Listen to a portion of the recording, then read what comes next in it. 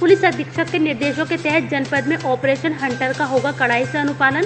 आदरणीय प्रधानमंत्री जी के द्वारा अयोध्या में 5 अगस्त को किए जाने वाले शिलान्यास को देखते हुए पुलिस अधीक्षक शिव हरि मीणा द्वारा जनपद में जनपद ऑपरेशन हंटर लागू किया गया, जिसके तहत जनपद व बॉर्डर की सीमाओं को सील करते हुए जनपद के होटल व रेस्टोरेंट में गहन चेकिंग अभियान चलाया जाएगा, जिसके तहत जनपद में पुलिस की 200 टीमें गठित की गई हैं।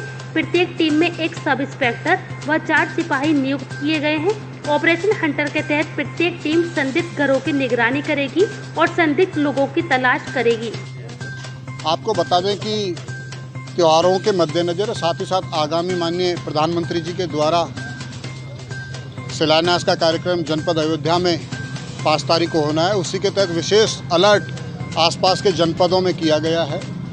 हमारे आईजी रेंज महोदय, एडीजी जॉन महोदय, डीजीपी सर के साथ साथ जो हमारे नोडल ऑफिसर हैं, आईजी फायर सर्विस सर के निर्देश के अनुसार ऑपरेशन हंटर चल रहा है। इसके तहत जनपद में लगभग 200 से ऊपर टीमें बनी हैं। हर टीम में चार कांस्टेबल और एक सब इंस्पेक्टर नियुक्त किया गया है। ये टीमें घर घर जाएँगी। इंश्योर करेंगी कि जनपद में किसी भी स्थिति में कोई भी संदिग्ध व्यक्ति वाहन नहीं होना चाहिए। साथ ही साथ जितने भी होटल, ढाबे हैं या इस तरह के बाहरी व्यक्तियों के रुकने के स्थान हैं, उन पर भी इस टीमों के द्वारा वेरिफिकेशन किया जा रहा है। पूरा जनपद सुल्तानपुर का बॉर्डर सील कर दिया गया है। अयोध्या वाला बॉर्डर विशेष रूप से सील किया गया है।